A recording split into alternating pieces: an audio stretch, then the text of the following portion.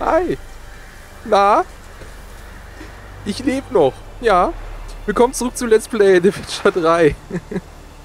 so viel zu, es dauert nur zwei bis drei Tage, bis die erste Folge vom Blood and Wine erscheint. Na, am Ende von Hearts of Stone habe ich das gesagt. Tja, sag sowas nie. Wenn du dir nicht sicher bist, dass, es, dass Mod tatsächlich auch so ist. Ähm, ja, ich will es gar nicht groß erklären, warum es so viele Ausfälle gab. Also beziehungsweise warum es so lange einen Ausfall gab. Ja, es gab ja wirklich ein, zwei Monate nichts auf meinem Kanal. Seit dem Ende von Outer Worlds eigentlich nicht mehr. Ich hatte erst keine Zeit, dann keine Motivation. Und wenn man keine Motivation hat, dann sollte man nicht aufnehmen, weil das hat sonst keinen Zweck. Und dann habe ich es irgendwie verpentet. Um ganz ehrlich zu sein. Ja, es war irgendwie... Irgendwie auch teilweise keine Lust auf Witcher 3.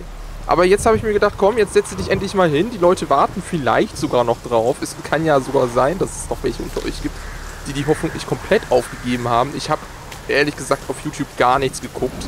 Also ich war auf YouTube null unterwegs den letzten Monat. Ähm, also zumindest nicht als Creator, sondern eher als Zuschauer. Also ich habe null Kommentare gelesen, gar nichts. Es kann also sein, dass es auf meinem Kanal haufenweise Kommentare gibt. Wann kommt denn endlich Witcher 3? Oder äh, lebst du noch? Hat Corona dich getötet? Nee, ich lebe noch und mir geht's gut. Also gesundheitlich. Ja, ich rede hier schon zu lang. Ich glaube, wir starten einfach mal. Triff dich in Hohlweg mit den Rittern aus Toussaint. Wir haben nämlich einen Zettel aufgehoben irgendwann mal. Ähm, den habe ich jetzt nicht mehr im Inventar, ne? Das Geleitbrief. Nee, das wäre der nicht. Das wäre irgendwo... Den habe ich jetzt leider...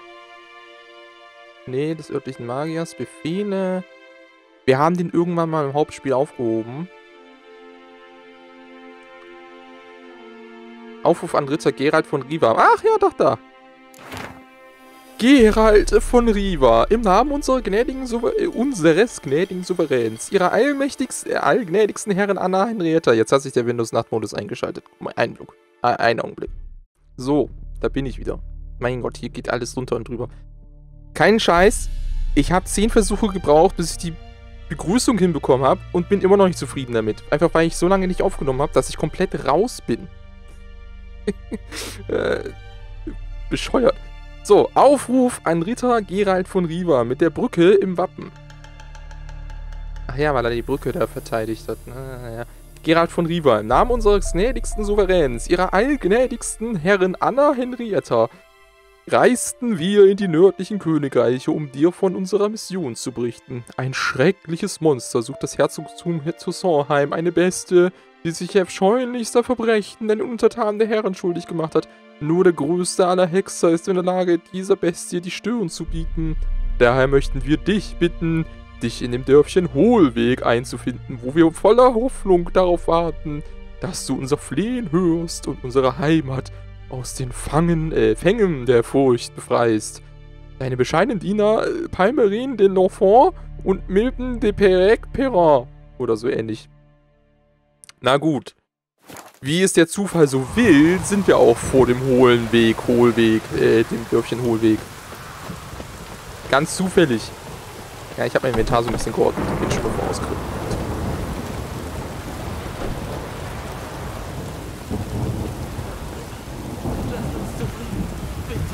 Ich habe Angst.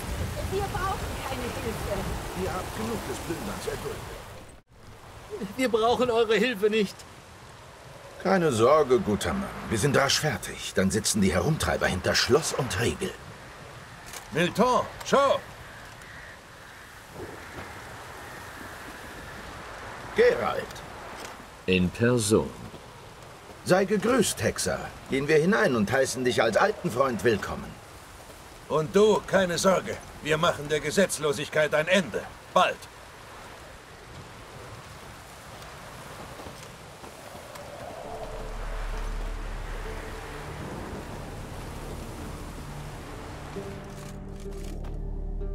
Hab eure Mitteilung am Anschlagbrett gefunden. Siehst du, Palmerin, ich habe es dir ja gesagt. Der Greif bei Weißgarten. Wir müssen nur den Spuren seines Schlechters folgen, dann stoßen wir früher oder später auf Geralt. Milton de Peyrac-Peyran und Palmerin de Lonfol. Schön euch zu sehen. Ist lange her. Die Freude ist ganz auf unserer Seite. Verzeih die bescheidene Stube. Als wir schworen, das Dorf unter unseren Schutz zu stellen, hat uns der Dorfälteste diese Hütte überlassen. Er behauptet, es sei die beste im Dorf. Gibt es irgendwelchen Ärger? Nun, nach dem Abzug der redanischen Garnison geht es in dieser Gegend drunter und drüber. Die Tyrannei der Banditen ist besonders garstig. Diese Plünderer werden sich bald ins Dorf begeben, um Tribut zu fordern. Milton und ich werden ihnen das austreiben. Wir haben geschworen, gegen Ungerechtigkeit und Unterdrückung zu kämpfen, wo immer wir auf sie stoßen. Die Angelegenheit betrifft dich natürlich nicht. Aber bitte sei so gut und warte auf uns. Wenn wir mit den Tonichtguten fertig sind, haben wir dir ein offizielles Ersuchen zu unterbreiten. Ja, ich habe was vergessen. Das habe ich am Ende von Hearts of Stone gesagt. Ich wollte Plattenwein eigentlich auf Englisch spielen. Denn man hat es jetzt schon gehört, Gerald hat eine hallende Stimme in der deutschen Fassung. Niemand weiß, woran es liegt. Ich glaube, das Tonstudio hat einfach nicht aufgepasst. Ja, es gibt eigentlich in Plattenwein im Englischen, ich wollte gerade sagen Original, aber es war nicht das Original, im Englischen, also in der englischen Fassung, wahrscheinlich auch in der polnischen, gibt es einen Filter, in Anführungszeichen, äh, bei NPCs, wenn sie einen Helm tragen oder nicht. Beziehungsweise, also es, eigentlich ist es so, glaube ich tatsächlich, also eigentlich, glaube ich, dass das so ist in den Spieldateien, jetzt wird es technisch, aber ihr liebt mich dafür. Gibt es zwei Audiospuren und je nachdem, ob ein Charakter einen Helm trägt oder nicht, wird entweder eine heilende Audiospur, Spur, äh, Audiospur abgespielt oder eine nicht heilende, denke ich zumindest. Geralt kann in Plattenwein einen Helm tragen, deswegen gibt es eine heilende Audiospur von ihm. In der deutschen Fassung haben sie es versaut. In der deutschen Fassung heilt er immer. Obwohl nicht immer in 90% der Fälle. Es hört sich so an, als ob der Sprecher, bei allen Respekt, das Ding während einer Autofahrt aufgenommen hätte. Ähm, ich habe jetzt aber komplett vergessen, das auf Englisch zu stellen. Vielleicht mache ich das noch, wenn es mir tatsächlich zu sehr auf den Sack geht, äh, was es jetzt schon geht. ich bin bei sowas sehr pingelig. So, sie wollen Banditen töten. Das halte ich für eine eigentlich sehr gute Idee, aber wir wissen alle, wie es enden wird. Wenn sie sich einmischen, dann kommen die Banditen halt immer wieder. Es hat keinen Sinn, die Banditen zu beseitigen. Wenn ihr sie tötet, kommen die Nächsten und die sind vielleicht noch schlimmer. Dem Bösen begegnen und wegsehen, wie ehrlos. Ihr könnt nicht immer hier sein und die Leute vor allen Gefahren beschützen. Ich habe gehört, wie sie euch gebeten haben, euch nicht einzumischen. Dafür dürften sie gute Gründe haben. Du meinst, wenn wir helfen, dann sind wir für ihr Schicksal verantwortlich? Meiner treu, diese Bürde ist zu schwer. Gerald spricht weise. Wir kennen weder das Land, noch die Leute, noch ihre Bräuche. Und unser Auftrag ist ein ganz anderer. Ach, wie ich Toussaint vermisse. Dort ist alles so einfach. Bald, mein Freund, bald. Lass uns Gerald jetzt das Ersuchen unterbreiten, wie die Tradition es verlangt. Nur Mut, Palmerin. Denkt er immer an Parfum. Die Bauern kommen zurecht, Palmerin. Sie müssen seit Menschengedenken mit Banditen fertig werden. Das ändert nichts an der Betrübnis meines Gewissens. Also raus damit. Was bringt euch den weiten Weg her? Wir müssen die Botschaft der gnädigen Herzogin vollständig und traditionell überbringen. Denn Tradition ist in Toussaint heilig. Schon gut. Ehrenwerter Gerald, Schlechter von Monstern und allem Übel, das sich schadlos an den Schutzlosen dieser Welt hält. Du, der du im Rufe stehst, den Unschuldigen und Witwen und Waisen deine Hilfe zu gewähren, wirst hiermit gebeten, einen herzoglichen Auftrag zu erfüllen. Befreie uns vom Biest, das das Blut durch die Gassen fließen lässt und jedermann gleichermaßen in Angst und Schrecken versetzt. Eile uns zur Hilfe, Hexer. Um dieses ersucht dich demütig die allergnädigste Beschützerin der leidenden Stadt, Herzogin Anna Henrietta.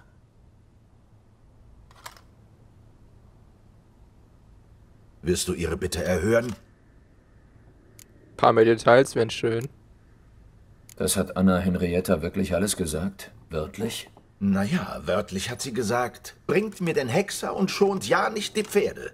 Passt bloß auf, dass er diesmal alleine kommt.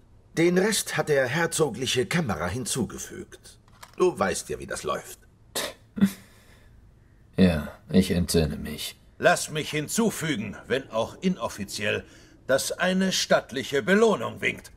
Die Details musst du mit der gnädigen Herzogin persönlich klären.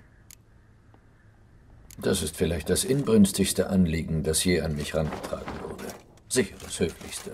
Und jetzt, da der Form Genüge getan ist, möchte ich mehr über dieses Biest hören. Falls es eines ist. Das ist gewiss, auch wenn es noch niemand genau gesehen hat. Die einzigen Zeugen sind die grauenvoll massakrierten Opfer. Schau, dies sind einige Zeichnungen nach den Beschreibungen derer, die behaupten, das Biest erspäht zu haben. Sie unterscheiden sich leider sehr. Ich fürchte, die Zeugen reden Unsinn. Wie viele Opfer hat es gegeben? Zwei. Als die Herzogin vom Zweiten erfuhr, schickte sie uns sofort los, dich zu holen und dir Land und Schätze anzubieten, falls du ihre Bitte erfüllst. Es weht ein böser Wind, Gerald. Das Biest hinterlässt keine Spuren. Es heißt, es bediene sich schwarzer Magie. Beide Opfer waren Adlige. Und bald beginnt ein Turnier. Aha. Wie Turnier? Dieses Turnier, das du erwähnst, warum bläst die Herzogin es nicht ab? Weil es zu spät ist. Die Teilnehmer und Gäste sind bereits eingetroffen, darunter die besten Ritter aller Länder und Anverwandte des Kaisers. Es sind also nicht nur die Untertanen der Herzogin bedroht.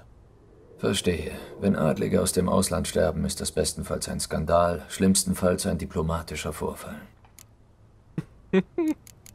ja, das ist wie bei uns, wenn man Nachrichten sieht und es gibt irgendwo einen Flugzeugabsturz oder irgendwelche Totenfälle im Ausland und das heißt immer, unter den Opfern waren auch so und so viele Deutsche. Das ist dann immer besonders schlimm, wenn oder je nachdem, was durch ein Land ihr halt seid. Ne? Wenn es Leute sind im Ausland, das ist alles nicht so schlimm. Sonst würde man ja nicht erwähnen. Ne? Unter den Opfern waren auch Deutsche oder Österreicher oder Schweizer, je nachdem. Hat schon jemand versucht, das Monster zu fangen? Hat schon jemand versucht, das Biest zu jagen? Fahrende Ritter vielleicht? Ha! Versucht haben es viele. Aber niemand hat es geschafft. Das Biest ist klug. Es geht in keine Falle und greift stets überraschend an wie ein Geist. Wir brauchen einen erfahrenen Fährtenleser, der sich mit Monstern auskennt. Kurz, wir brauchen dich. Hm. Das Biest bedient sich schwarzer Magie. Woher wisst ihr das? Das erste Opfer ist bei einem Bankett zwischen zwei Gängen verschwunden, unbemerkt. Es gab nur ein offenes Fenster und dann Geschrei auf der Straße, als dort die Leiche gefunden wurde. Beim zweiten Mord war es ähnlich. Das Opfer, ein Ritter, befand sich in einer verschlossenen Kammer. Das Haus war voller Diener und Wachen. Das Biest hat ihn trotzdem erwischt. Dann hat es ihn auf den Marktplatz geschleift und dort umgebracht. Wiederum unbemerkt. Wir fürchten keine Kreatur, der sich mit Schwert und Schild beikommen lässt. Doch das hier ist ein unbekanntes Wesen. Man weiß nur, dass es keine Spuren hinterlässt und mühelos tötet. Aus Gründen, die niemand kennt. Ah, ja. Gut, ich muss darüber nachdenken. Würde ich jetzt sagen, wenn ich noch irgendwas anderes zu tun hätte, was ich nicht habe. Äh, all die Aufträge, die ich schon für Herrscher erledigt habe, war kaum einer drunter, der sich für mich gelohnt hätte.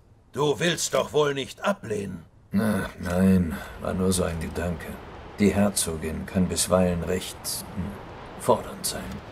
Du übernimmst den Auftrag also, vorzüglich. Wir müssen gleich aufbrechen. Wir haben lange in diesem Land nach dir gesucht. Eile ist geboten.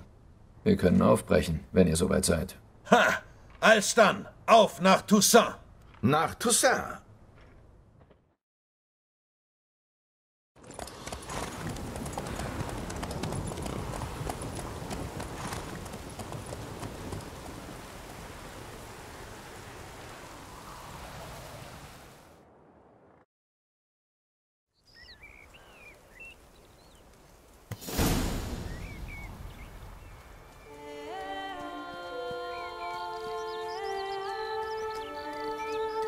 Toussaint, Land des Weins, Land der Liebe. Genau wie ich es in Erinnerung habe. Beauclair hat sich in den letzten Jahren verändert. Du wirst sehen. Schau dich um, wenn du dazu kommst. Dann wirst du es bemerken. Mir ist es immer wie ein Märchenland vorgekommen. Fahrende Ritter, Elfenschlösser. Du findest uns doch nicht merkwürdig. Ich zeige dir, wie normal wir sind. Das schwöre ich beim Reiher.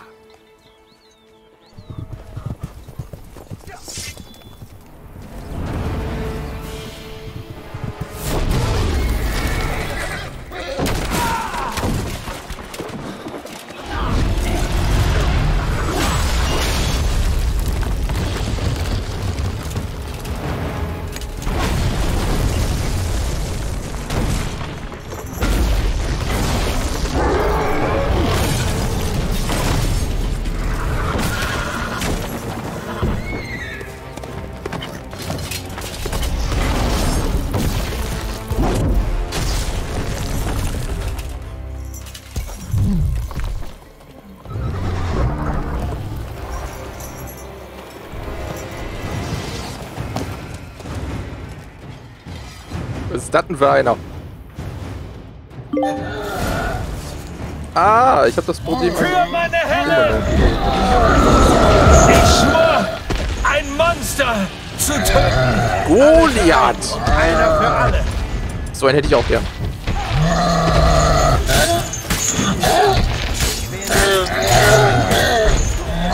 Spiele ich eigentlich weil ich habe die Einstellung zurückgesetzt. Warte mal, ich muss mal ganz kurz gucken. Äh, Spiel. Ja, Todesmarsch. Und Feinskalierung ist an. Du triffst ja gar nicht.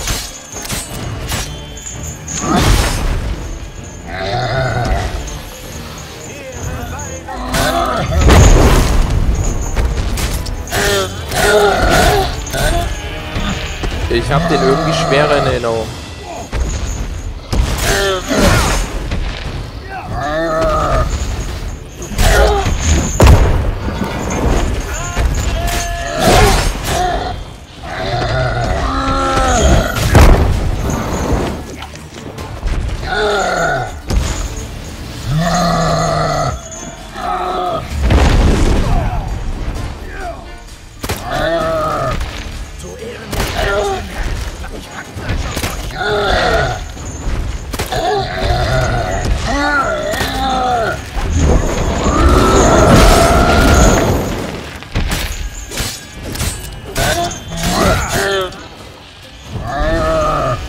Komm, verblute dich, komm. Oh, schade.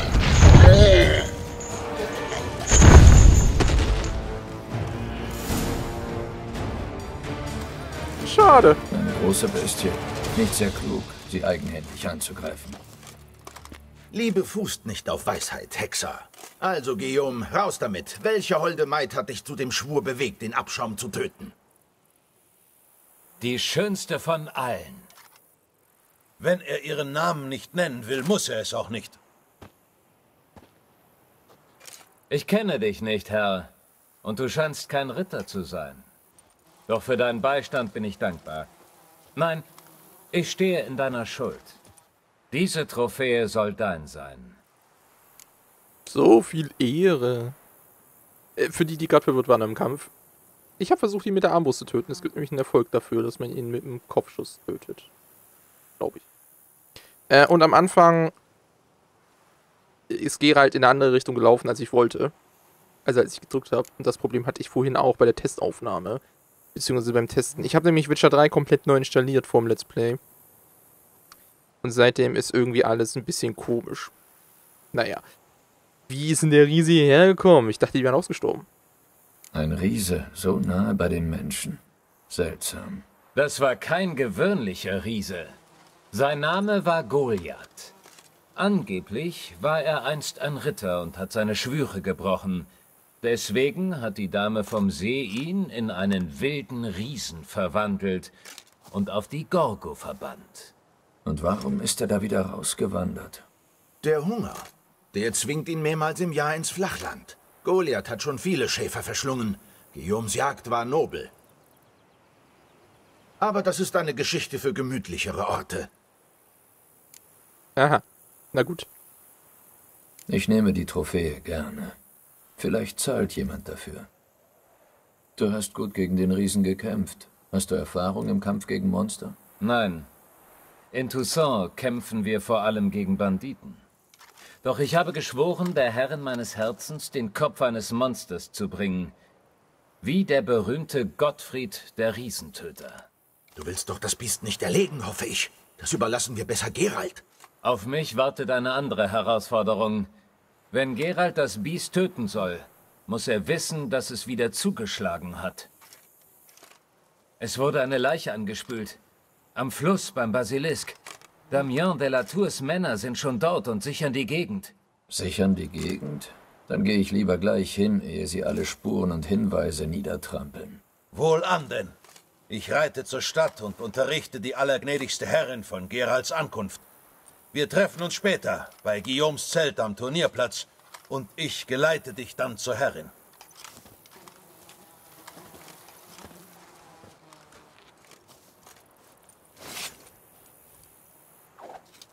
Will jetzt den Kopf vom... Naja, okay. Kriegt ein Messerchen. Ich muss ganz ehrlich sagen, es ist sehr schwer für mich, die Stimme von Geralt zu ertragen. Sehr schwer. Ich weiß nicht, wie es euch geht. Vielleicht ist das auch nur, weil ich Kopfhörer trage. Wow. Ähm. Ich bin Stufe 50 und krieg eine Stufe 38 Schwert. Okay. Ich glaube, das war nicht das Biest von Toussaint. Ach ja, die Schweinetrophäe. Warte mal. Da ist sie ja. Die Trophäe von Goliath. Plus 5% Monstererfahrung bei Monstern. Äh, Erfahrung bei Monstern. Oh, ist die schön. Den Faunfedern und allen. Mhm. Aber... Ich brauche das Gold.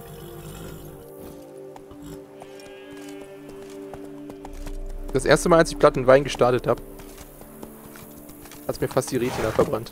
Tapferer Junge, dieser Guillaume. Palmerin hat ihn aufgezogen. Guillaume und er sind verwandt. Juhu, Mutation und Großmeister. Also um das Ganze zu erklären. Ich brauche das, glaube ich, nicht erklären, oder? Man hat, glaube ich, den, den, Kontrast perfekt gesehen am Ende, als wir in Wählen äh, fortgeritten sind. Sturm, Regen, alles braun, hässlich. Na, braun war es nicht. Grau, braun, realistisch. Und düster. Und Toussaint ist halt das krasse Gegenteil davon. Wir sind in der Märchenwelt angekommen. Mutation und Großmeister Hexerausrüstung. Im Blatt und Wein kann sich Geralt weiterer, äh, weiteren Hexermutationen unterziehen, um neue Möglichkeiten freizuschalten.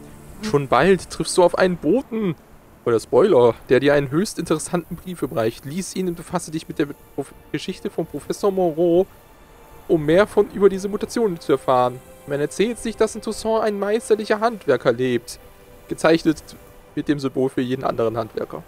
Der Hexerausrüstung unerhöhter Qualität anfertigt, unerhörter. Unerhört hier. Außerdem bekommst du Spezialwohnungen, wenn du manche oder sogar alle Teile eines Sets austrägst. Äh, Dieser, ja, genau. Du wirst die Investitionen und diese neuen Möglichkeiten nicht bereuen. Schrieben sie, wohlwissend, dass kein Spieler, der Plattenwein frisch anfängt, genug Geld dafür hat.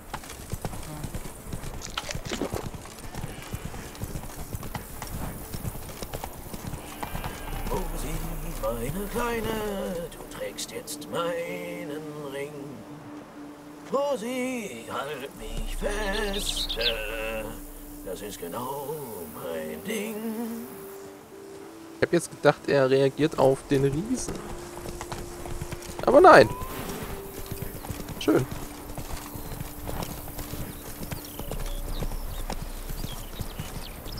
Gewöhnungsbedürftig, die ritterliche Ausdrucksweise. Vor allem der Wechsel zwischen blumig und nahezu normal. Wir sind fahrende Ritter im Dienste der allergnädigsten Herrin. Wenn wir in ihrem Namen handeln, bindet uns die Tradition. Aha. Soll heißen, es bilden sich linguistische Schwellungen in eurem Rachen, Herr Ritter. Niemand da? Sie müssen den Leichnam bereits fortgebracht haben. Sehen wir uns um.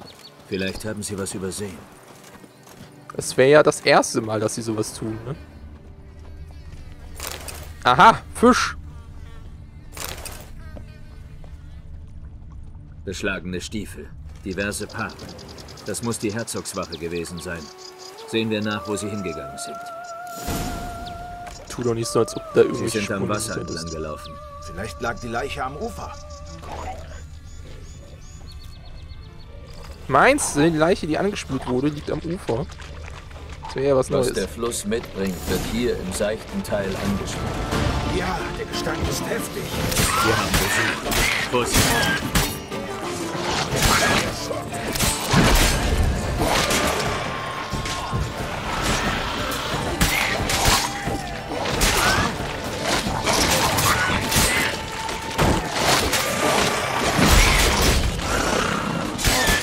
Pirouette!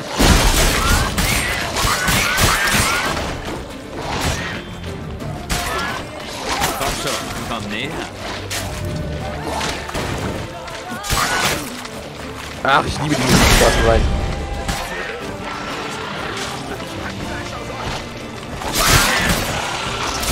Ich muss ehrlich sagen, ich bin ein bisschen raus, ne?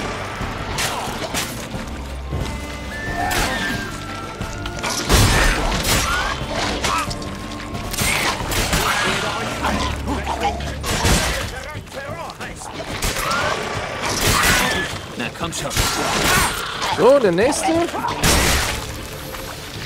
Schade, ich kriege gar nicht gegenseitig mit. Die halten zu viel aus.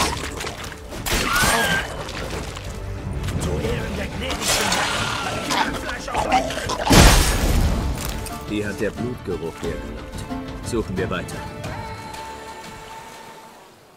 Habe ich schon erwähnt, dass ich die Musik in Blandenwein super finde.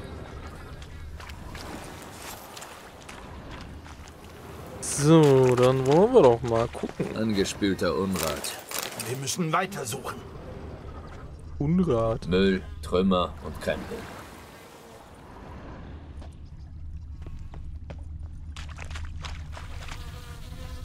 Es sind nur noch blutige Fetzen von den Kleidern des Opfers übrig. Hochwertige Kleidung. Das Opfer war wohlhabend. Sieht so aus. Ich glaube, ich muss die Katzenrüstung tragen. Die hat nämlich eine Mütze, eine Kapuze, dann fällt das nicht so auf, dass er einen Helm tragen müsste. Dann macht die gedämpfte Stimme ein bisschen mehr Sinn. Blut. Die Wache hat die Netze aus dem Wasser gezogen und dann den verstümmelten Leichnam freigeschnitten. Das Problem, dass ich ein bisschen Ich springe habe, rein und sehe nach, ob sie auch nichts übersehen haben. das Problem, das es immer ein bisschen gibt, als äh, deutscher Let's Player, ist, wenn du ein Spiel auf Englisch spielst, dann gibt es immer irgendjemanden, der sich beschwert, dass es keine deutsche Müll, Übersetzung gibt. Trümmer und Krempel. Oder dass man es nicht auf Deutsch spielt. Selbst, wenn's, also, selbst wenn das Spiel keine deutsche Sprachausgabe hat, gibt es immer irgendjemanden, der sich beschwert. Ähm, nicht bei mir, aber auf anderen Channeln sehe ich das relativ oft. Witzigerweise. Und erfahrungsgemäß kann ich sagen, Spiele ohne deutsche Sprachausgabe werden bei Minisoft geguckt.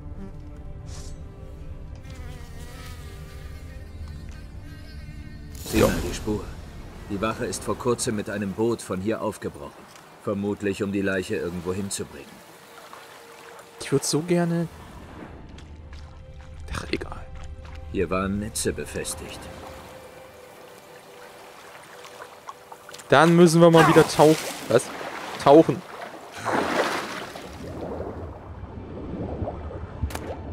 Oh, Toussaint Herzogswächterstiefel und vier Floren. Dass die dieselbe Währung haben, wundert mich irgendwie. Holzlöffel. Eigentlich ist doch Toussaint ein Herzogtum von Novigrad, also müsst eigentlich Kronen benutzen und nicht Floren. Taschentuch mit dem Monogramm DLC. DLC. Es muss einem Adligen gehört haben. Wäre gut zu wissen, wo sie die Leiche hingebracht haben. DLC, ja. Muss einem Adligen geholt haben, ja. Nur reiche Leute können sich DLCs leisten. Und jetzt? Wir wissen, dass dies nicht der Schauplatz des Mordes ist. Die Leiche wurde angetrieben und hat sich dann in einem Netz verfangen. Die Wachen haben sie rausgezogen und mit dem Boot weggebracht. Ich will sie mir ansehen, bevor die Verwesung einsetzt. Die Taverne. Die Inhaber müssten gesehen haben, wo die Wachen hingefahren sind. Fragen wir nach.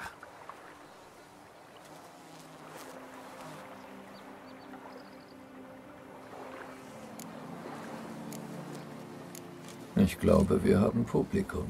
Kein Wunder. Die Leute hier werden noch ihren Enkeln davon erzählen, wie einst eine gevierteilte Leiche aus dem Fluss gezogen wurde.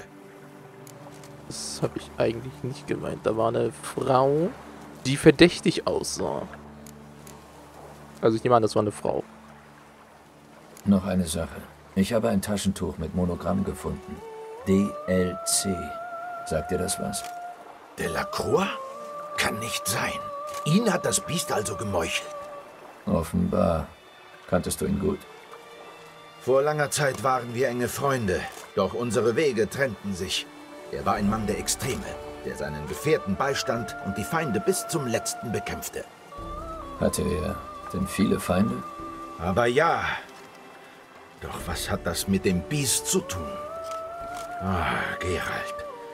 Es ist zu schmerzlich. An diese alten Zeiten möchte ich jetzt lieber nicht denken.